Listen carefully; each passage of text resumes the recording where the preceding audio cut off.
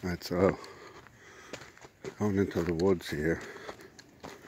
See what kind of signs of wildlife are back here.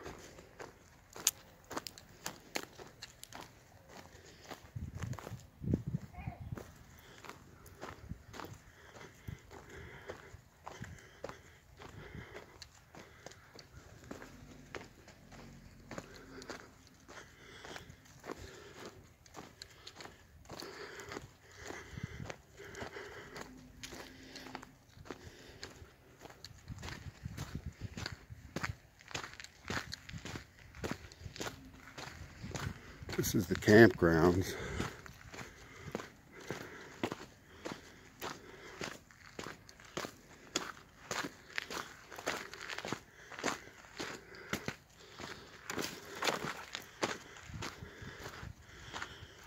There's like a little pond down there.